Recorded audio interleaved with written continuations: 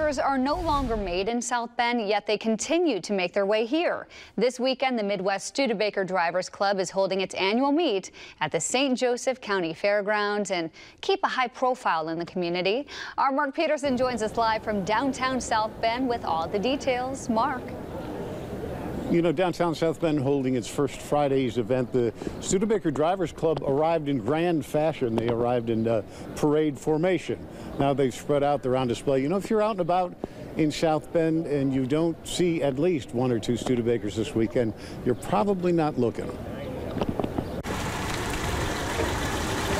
Much like the Swallows return to Capistrano, the likes of Larks and Golden Hawks are once again flocking to South Bend. And do you take it out quite a bit? What kind of reaction do you get? Oh, I get, uh, you know, people blowing horns and giving me a thumbs up and waving, and it's it's fun to drive. In Jerry's case, he drives like a champion as he drives his 1955 Studebaker champion down memory lane. My dad worked in this building on your left, and I used to ride down here with my mother and we'd park in a station wagon right on the corner there and each of those is a crest of the different craft or guild that worked in the factory.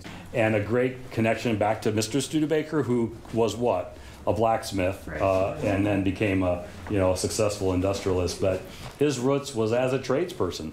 This year, the Midwest Studebaker Meet offered tours of the former Studebaker Company headquarters, built in 1909 with mules doing much of the heavy lifting. People don't realize, you know, they started uh, Memorial Hospital. They uh, Howard Park. They were big on that. They uh, built this. The first YMCA. They they built they built that pretty much the same time they built this.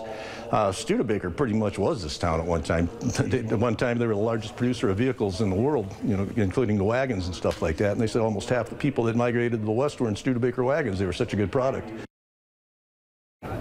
You know, the meet's taking place out at the St. Joseph County Fairgrounds. Uh, tomorrow, the public has a chance to see what's going on. There's some uh, car contests and a, a, swap meet. There is cover charge there of about $5. Uh, sorry, he, they need me to, to work on the engine here for now. $5 worth it to see some of those Butte cars. Mark Peterson Live. Good work, Mark. Thanks so much. Happening